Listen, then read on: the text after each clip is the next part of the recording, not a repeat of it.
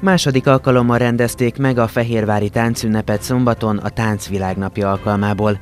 A Fehérvári Táncművészek Szövetsége és a Terciastárt Egyesület egésznapos programsorozata délelőtt belvárosi felvonulással és flashmobbal kezdődött.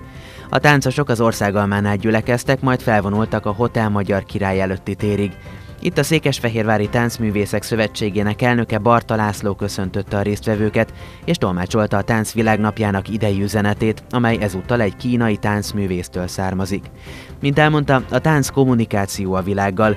A testbeszéd az emberiség legösszetettebb, legösztönösebb kommunikációs formája.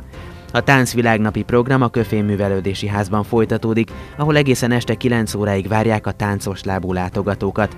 A délutáni előadásokat követően érkezik a napfénypontja, a táncválasztó, emelte ki a Székesfehérvári Táncművészek Szövetségének elnöke. Este 6 pedig a tizedik jubileumi táncfesztivál lesz, a Tárcia Start Egyesület kezdeményezte annó 12 évvel ezelőtt, és most már a tizedik alkalom. Úgyhogy, úgyhogy azzal zárul majd este 9 környékén a mai nap programja. Gladiátorharc, Gorziumi csetepaté és fogadhajtó verseny. Ezekkel a programelemekkel rajtolt az idei Florália a Gorzium Régészeti Parkban. A holnap estig tartó tavasz köszöntő ünnepre ebben az évben is több százan látogattak ki. Szombaton délelőtt az érdeklődők hangos kiáltással bíztathatták a gladiátorokat a fórumon, akik a győzelemért küzdöttek meg. A harc igazán élethűre sikeredett, hiszen a harcosok valódi fegyverekkel küzdöttek, és ugyan nem volt a performance része, de valódi sérüléseket is szenvedtek. A gladiátor harcot a Matúz János által rendezett egy felvonásos, zenés-táncos előadás a Gorziumi Csetepaté követte, melyet kifejezetten erre az alkalomra álmodott színpadra a rendező. A szerepekben székesfehérvári fiatalokat láthatott a közönség.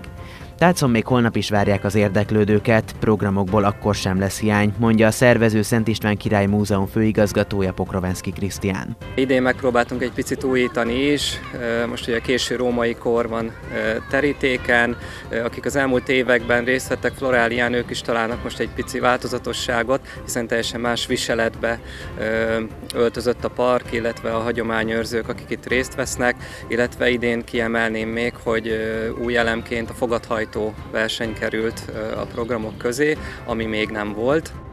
Átadták az Alba Régia tanulmányi ösztöndíjakat a Városháza dísztermében. Az önkormányzat évről évre igyekszik segíteni a székesfehérvári diákokat tanulmányaik támogatásán keresztül. A 2022-23-as tanév második fél évében meghirdetett ösztöndíjakra február 27-ig lehetett pályázatot benyújtani. Összesen 74 nyertes pályázó kap idén ösztöndíjat, a középiskolások 50 ezer forintot, az egyetemi hallgatók 100 ezer forintot, míg a hallgatói tanács tagjai fejenként 40 ezer forintot. A városnak nagyon sok szakképzett munkám, szakképzett munkaerőre van szüksége, sok szakemberre, és hogy legyen sok jól képzett szakember, ehhez ösztöndíjakat is kell folyósítani. A város több ösztöndíjjal is próbál gondoskodni a szakember utánpótlásról. Ilyen a Tóth István ösztöndíj is, de ilyen az Alba Regia ösztöndíj is. A Szénatéri Általános Iskola alapításának 85. születésnapját köszöntötték a civil központban.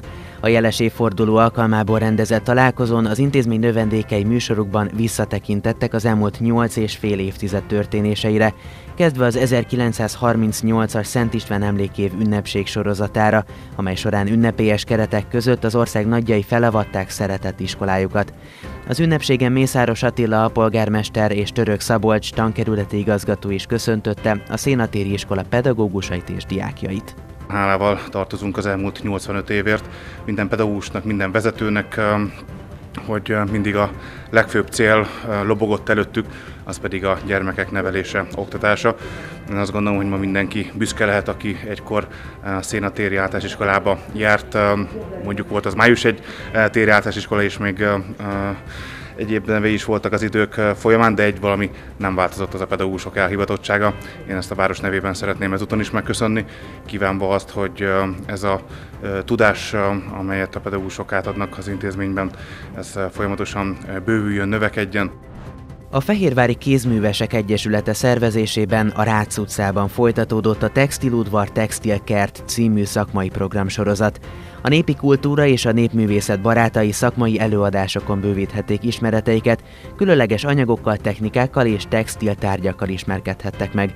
Az idei találkozó fő témája a betűk alkalmazása a feliratos textileken, melyekről Katona Edith, az ősi mesterség elismert etnográfusa, a Néprajzi Múzeum munkatársa tartott előadást. A mai napon harmadik textiludvar textilket rendezvényünket tartjuk, és a nap fő témája a monogramok, a betűk szőve, himezve bármilyen formában a textileken.